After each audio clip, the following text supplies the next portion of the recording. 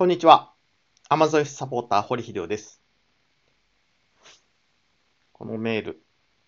Removable, Removable Orders During Peak Season というね、メールが届いていると思います。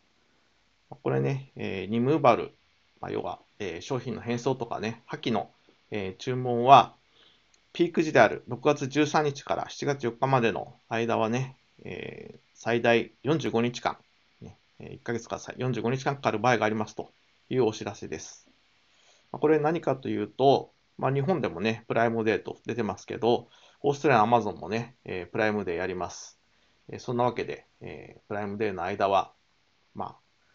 リムーバブル、破棄とか変装手続きしてる場合じゃないということでね、えその手続きを遅れますというお知らせです。と同時に、当然入庫までにもね、え時間がかかるようになっちゃいますし、まあ、この期間ね、えー売れる期間なんで、まあ、商品の補充、ね、あるいはテストで、えーちょうど在庫リミット上がったとこなんでね、えー商品を送る予定がある場合は、まあ、どんどん前倒し、早め早めに、えー納品してください。またね、翻訳サービスの方も、あるいは納品でいくつ入れましょうというような相談もね、お待ちしてます。Amazon サポーター、堀秀夫でした。